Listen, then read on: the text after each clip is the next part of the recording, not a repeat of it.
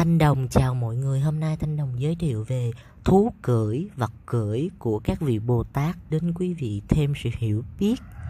À, đầu tiên đó chính là thú cưỡi của Đức Bồ Tát Quán Thế Âm.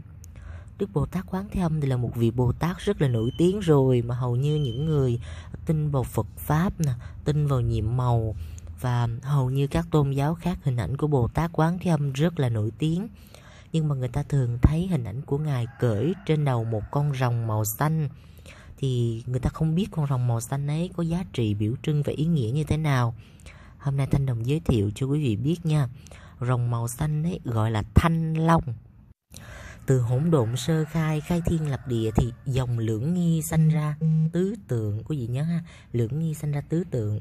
Phía đông tượng trưng cho mộc và trấn giữ phía đông là thanh long tứ tượng tứ tượng mới ra ngũ hành là kim mộc thủy hỏa thổ đó.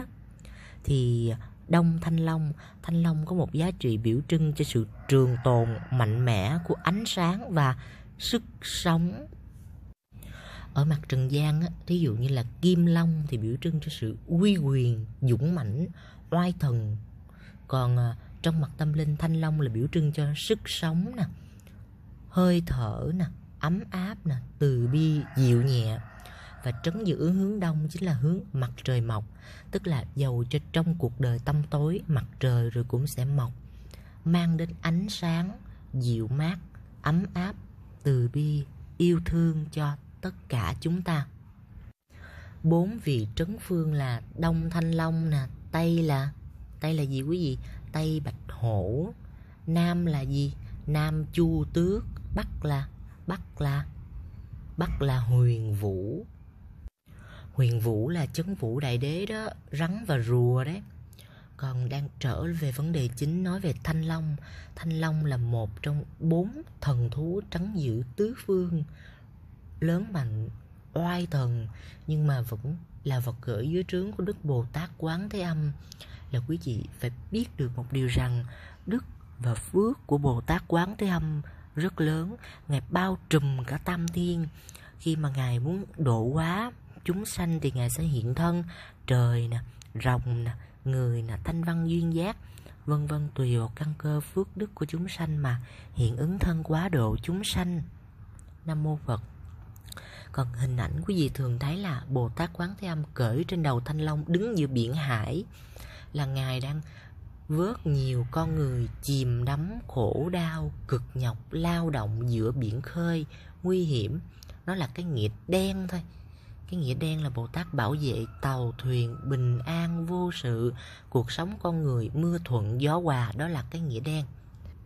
Còn cái nghĩa bóng thật sự là trong cuộc đời ta bà biển khổ sông sầu, giữa biển trầm mê, bồ tát quán thế âm cởi trên đầu thanh long mà vớt độ chúng sanh thoát khỏi bến mê tỉnh tỉnh tỉnh và hồi cơn tỉnh ngộ em cắt nghĩa quý vị chỗ nào không hiểu quý vị cứ hỏi lại ha. Vật cởi của đức bồ tát quán thế âm là thanh long và trước những cái điều ở phía trên đó là biểu trưng và ý nghĩa của thanh long. Thật ra thanh long là một vị trí rất là lớn trong thần cổ học đó. Và tiếp theo sau đây là vật gửi của một vị bồ tát xưng danh hiệu là phổ hiền bồ tát và đầy đủ danh hiệu của ngài là đại hạnh phổ hiền bồ tát quý vị có từng nghe là 10 hạnh phổ hiền chưa ạ? À?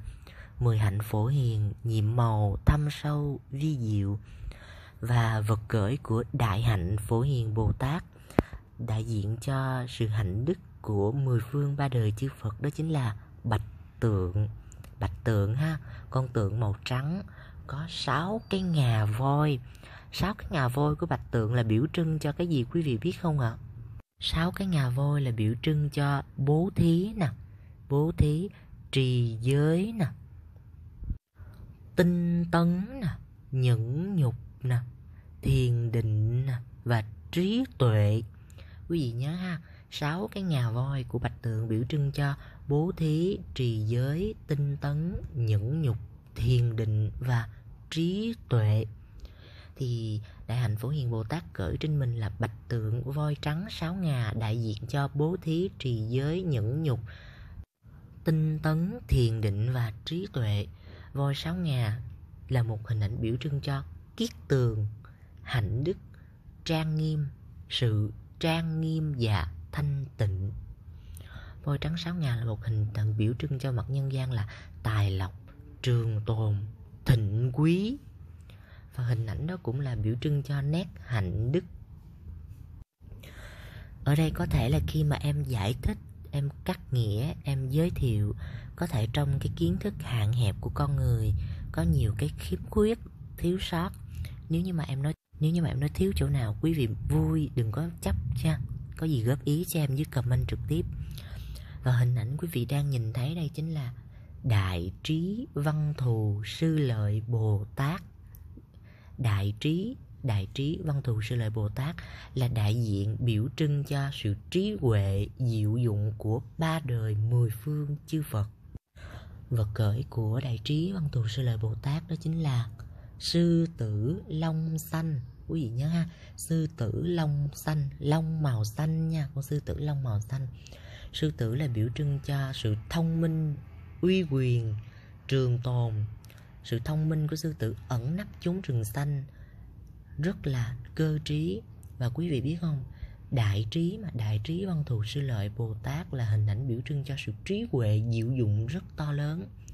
Sư tử màu xanh, lông xanh này á, có một khả năng tiếng hóng tiếng hóng của nó có thể hóng vang dội cả tam thập tam thiên và làm cho nhiều tà ma có thể là hồn bay phách lạc nhưng mà bằng sự từ bi, dịu dụng thì chư phật không bao giờ thể hiện thần thông đánh trị ma tà, mà dùng từ bi nè, trí huệ, phương tiện để quá độ.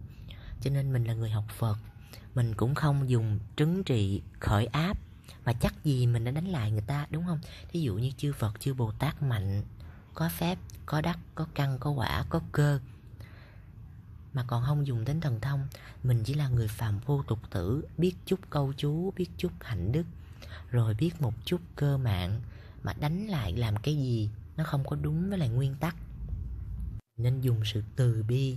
Mà nói về từ bi á, thì quý vị đâu có ai mà từ bi qua các vị phật và bồ tát đâu đúng không á? Ờ, đại từ đại bi linh cảm ứng quán cam bồ tát đại hạnh phổ hiền bồ tát là đại trí văn thù sư lợi và đây là hình ảnh mà quý vị chắc chắn hầu như người phật tử nào cũng biết. Địa tạng bồ tát. Địa tạng bồ tát giáo hóa ở đâu à giáo hóa ở địa ngục. Và ngài có lập một lời thệ nguyện là gì quý vị biết không à địa ngục dị không thề bắt thành phật. Tức nghĩa rằng là nếu mà địa ngục không trống thì địa tạng bồ tát sẽ không thành phật. Mà ngài nguyện làm thân bồ tát để ở chốn địa ngục quá độ cho sinh linh cõi địa ngục. Vì nếu là thành phật nhập về niết bàn rồi, và vật cởi của đức địa tạng bồ tát mang tên là thính thế, là con sư tử long màu vàng đó quý vị. Sư tử long vàng, thính thế, tên là thính thế ha. Thính thế, nghe chữ thính như chữ thế nghe không? Thính tức nghĩa là nghe. Thính là nghe, thế là thế gian xuất thế gian xúc, tức nghĩa là nghe được các âm thanh của thế gian, nghe được các âm thanh của thế gian khi mà tính thế, nằm xuống dưới đất, lắng lột tai nghe, sẽ nghe được tiếng thiết pháp diệu dụng của mười phương chư Phật và nghe được cả sự đau khổ, thống khổ của tam thập tam thiên, đặc biệt là chúng sanh cõi địa ngục. Vì thế, tính thế là một vật cởi như là một cộng tác, cộng sự đi theo tu tập bên cạnh Đức Địa Tạng Bồ Tát, giúp Ngài Hoàng Dương và hóa độ chúng sanh nơi cõi địa ngục.